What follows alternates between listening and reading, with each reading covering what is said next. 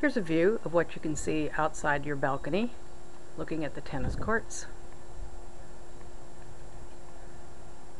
And onto the swimming pool.